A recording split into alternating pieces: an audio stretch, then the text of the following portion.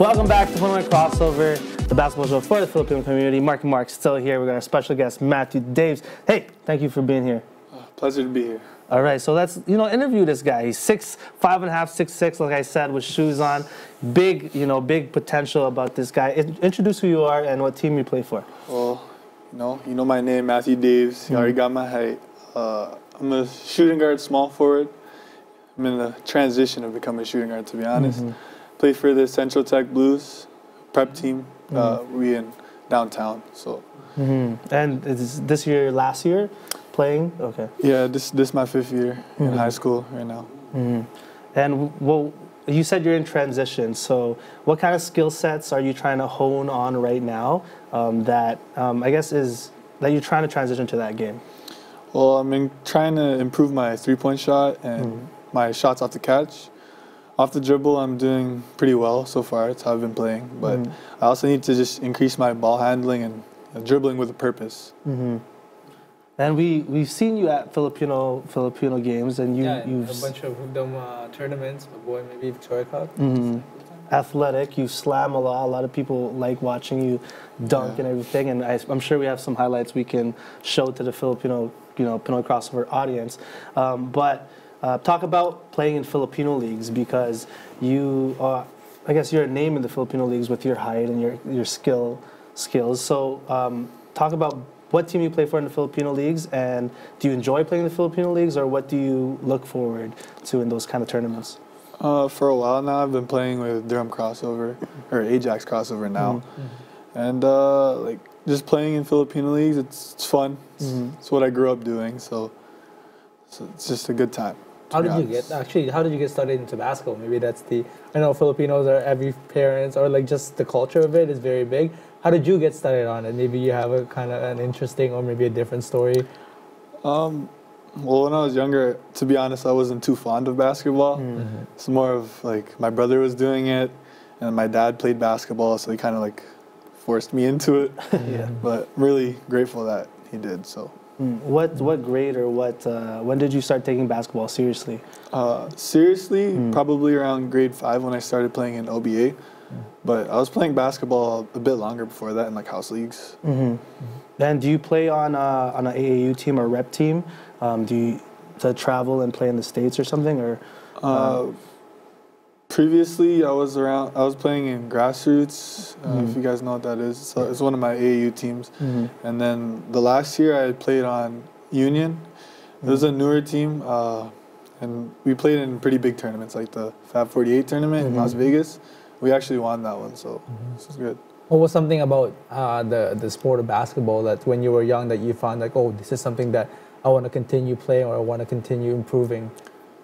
Well, like I just fell in love with the game to be honest. Like I saw my progression as I was young. Like I wasn't very good, uh, and then as I went along through the years, I continued to improve just bit by bit. And I like seeing the progression, and I, I love putting in the work. So Were you tall like, like taller than most kids at that age as well when you were younger? uh, yeah, I was pretty much always like the tallest. The tallest. Mhm. And then eventually, like my competition caught up to me, or they passed me. But I'm still considered pretty tall right now. So. Mhm. What was the other sport that you were playing mostly, or did you not play anything at all? And then basketball came, or I was more like a video game kind of kid when I was, yeah. and then and then there's just basketball. That's about it. Mm-hmm. Mm-hmm. How did you? Because then for your height right now, when you play in leagues, you're mostly at like you know the the biggest guy in the court. How did you find out that you felt like your position was a shooting guard and a small forward? Is that something that you kind of discover kind of closer to your age right now, or like you felt like this is, was the position that I wanted to play?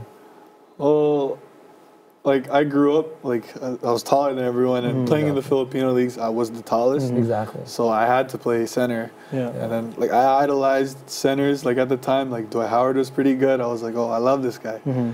And then growing up, uh, seeing like an OBA where it's not only Filipinos, everyone shot up six, seven, six, eight. Mm-hmm. I wasn't the tallest, and I knew I needed to separate myself somehow. So being like a bit taller, if I transitioned to the guard, it would have would me a bit mm-hmm. more, a little eye opening, kind mm. of. So you realized you weren't a center anymore when you played. Definitely. Because I'm assuming when you played for, I guess, the La Union and you went to the States and played all these other showcases, there's people that are 6'11, Yeah. 6'12. So is it different playing like in the Filipino leagues? You know, we see we see you're big and all, but what what happens when you're playing against other people that are 6'5, 6'7, 6'6? How is how is that a challenge for you? Well, mostly when it gets to that, when it's like they're the same height as me, it becomes more of a, a physical game. I feel like mm-hmm. I'm built a bit better than some of the six five, six six guys because from they just grew out of nowhere. Well, I was the same. I kind of stayed the same height for a mm-hmm. little while now, so I got to hone my body a bit more and mm-hmm. learn how to use it. So mm-hmm, kinda fit. Is there a specific player that you watch in the NBA, or is there someone that you model your game after, or you watched a lot and you felt like, oh, this is the kind of, uh, this is how I want to play? Well, earlier, earlier when I was like still developing, I felt like I watched a lot of, like I, I loved watching Paul Pierce, and then now through my like through recent years, I've started, I've grown to love watching Giannis Antetokounmpo. Oh, Giannis, mm. yeah. Yeah. Yeah, Wanna so be this is where the ball God. handling comes in, and that's why you mentioned before that you want to improve ball handling, because to be able to be this tall, six five, six six, and have the handle, which is key nowadays. So if you want to get into, you know, higher up in basketball, right? So mm. But Giannis is a Greek freak. yeah, I don't know if you were to like get longer, like, like wingspan wise. Yeah. Talk about your, your plans, your potential. This is your last year of your high school.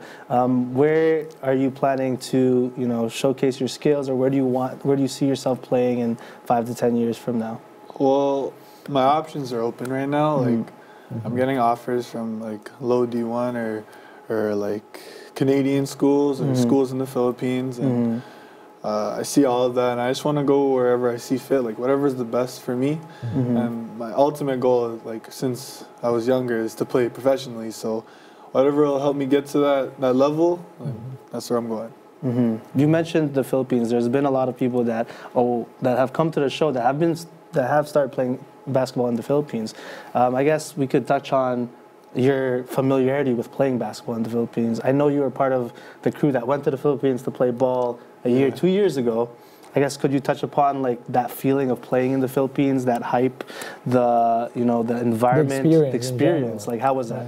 Well, to be honest, the first year was mesmerizing. Mm-hmm. Like they love basketball down there. Like it's a mm-hmm. whole different level. It's like a step up from what it is here in, the mm-hmm. states. Like I'd be, I'd finish a game or I'd finish the dunk contest, and then I'd walk out and people want to take pictures with me, and I'm just like, what? People Yeah. are adding me on Facebook. I'm Yeah. just like, what is this? Yeah. You're getting big. That's your that's your first taste Not of only fame. is he big, but he He's he's getting big. so you had you had some fans already after the dunk contest there. And how guess, did you play? I guess because um, the heat's a big thing as well. How was the heat and how was um, the gym? I don't, like how was that experience? Like the first year, it was all good because we were AC. We, we played in the bigger. Oh arena. you're wow, spoiled. you're You're spo- yeah, I was you got good. I privilege. was, I was having fun, You got my some, dunks, layups. Yeah. But Yeah. this last year, or this year, like the last tournament, Mm. we had two games in the same gym, and then the one game was it was like an outdoor gym practically. It just had a roof over it Wow. and some stands, and they had Yeah. like fans going, Mhm. and then like that was that was hard. Like Yeah. you could tell that I was not ready for for Yeah. that one. Like I was dehydrated. I was. Oh yeah. I was getting frustrated. Anything that happened, to be honest, I would just blame on the heat. I was, Yeah. Yeah. I'm changed now, but like I've Yeah. adjust, I, adjust, tried to adjust, you know, Yeah. but it's hard. How did you, how did you feel the physicality of the game? Because a lot of the people that came to our show and talked about their experience in the Philippines, they felt that the physicality over there was on a different level. How did you uh, felt playing there, the physicality, and how did you feel like you adjusted to it?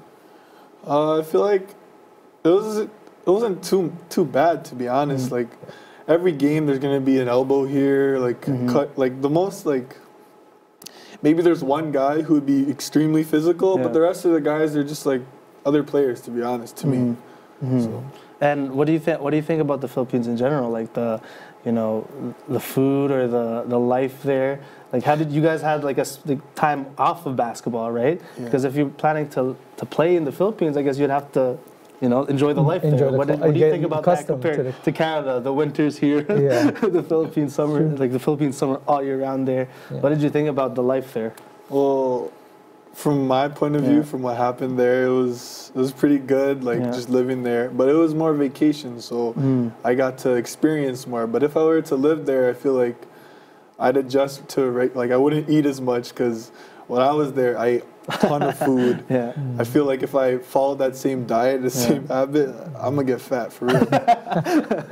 That's what we felt like when we were there. So yeah, I can see that. Maybe that's how you're built.